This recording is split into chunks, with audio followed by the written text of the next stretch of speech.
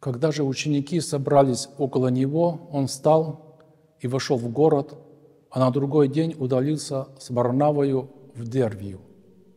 Проповедовав Евангелие всему городу и приобретя довольно учеников, они обратно проходили Листру, Иконию и Антиохию, утверждая души учеников, увещевая пребывать в вере и поучая, что многими скорбями надлежит нам войти в Царствие Божие. Рукоположив им пресвитеров каждой церкви, они помолились с постом и предали их Господу, в которого уверовали. Потом, пройдя через Писидию, пришли в Памфилию и, проповедовав Слово Господне в Пергии, сошли в Аталию. Оттуда отплыли в Антиохию, откуда были преданы благодати Божией на дело, которое и исполнили. Прибыл туда и собрав церковь, они рассказали все, что сотворил Бог с ними, и как Он отверз дверь веры язычникам.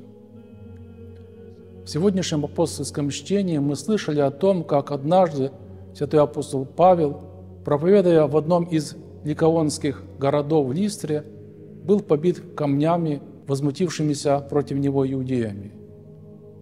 Последние, думая, что Павел после столь страшной расправы умер, вытащили его за город, но когда вокруг пострадавшего за имя Христова и проповедь Евангелия апостола собрались ученики, Павел встал и вновь вернулся в город, а на следующий день вместе с апостолом Арнавою удалился в соседнюю Дервию. Находясь в Дервии, апостол Павел увещал учеников пребывать в вере, наставляя при этом, что достижение Царства Божия возможно лишь при одном условии – только при терпеливом перенесении скорбей. Рассуждая над приведенными словами первоверховного апостола, преподобный Ефрем Сирин отмечает, что без печали и скорбей нет и спасения. Что это значит? Скорби – это тот фактор, который является необходимым для нашего духовного возрастания и спасения. Но при этом мы должны понимать, что не скорби сами по себе являются спасительными для человека, а то, как сам человек их переносит. Святитель Иоанн Златоуст так и говорит – важны не скорби, но их результат. Ведь именно в скорбях человек проявляет свои качества. Преподобный Паисий пишет, что скорби – это не что иное, как экзамен, который мы должны успешно сдать, дабы набрать проходной балл в Царство Божие. При этом он указывает на, так сказать, сам механизм работы скорбей. Перенося их с правильным сердечным расположением, то есть не гневаясь и не ропща на Бога, мы получаем намного большее благо в вечности, собираем себе сокровища на небесах.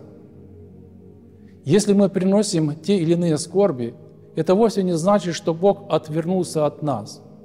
Напротив, наличие в нашей жизни скорбей можно расценивать как особую милость Божию к нам, грешным. Ведь, как гласит Писание, кого любит Бог, того и наказывает.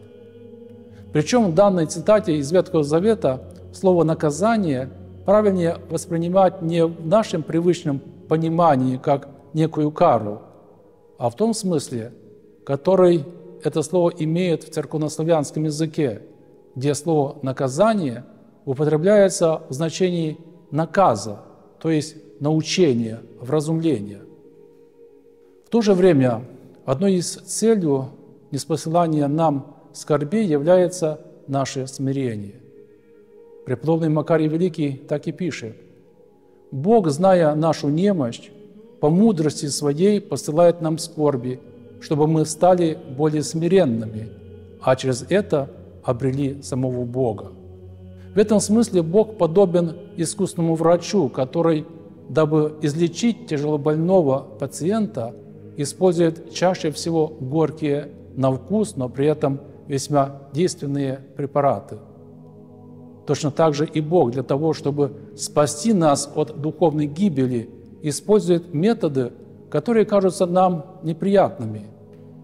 Таким образом, наличие в мире скорбей вовсе не противоречит тому факту, что Бог есть любовь, но наоборот, подтверждает его.